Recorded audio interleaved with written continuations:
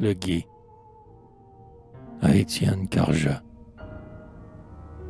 Il tombe épuisé. La bataille était rude, près d'un fleuve, au hasard, sur le dos, sur le flanc. Ils gisent, engourdis par tant de lassitude, qu'ils sont bien, dans les boue et dans leur propre sang. Leurs grandes faux sont là, luisantes d'un feu rouge, en plein midi. Le chef est un vieux paysan, il veille. Or il croit voir un pli du sol qui bouge. Les Russes, il tressaille et crie. Allez-vous-en. Il les pousse du pied. Oh, mes fils, qu'on se lève.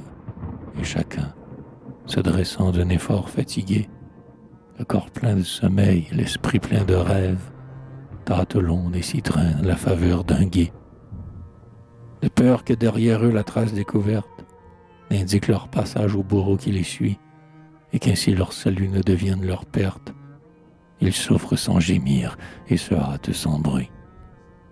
Hélas, plus d'un s'affaisse et roule à la dérive, mais tous, même les morts, ont fui jusqu'au dernier. Le chef, demeuré seul, songe à quitter la rive. C'est trop tard. Une main le retient prisonnier. Oh vieux, sais-tu si le fleuve est guiable où nous sommes?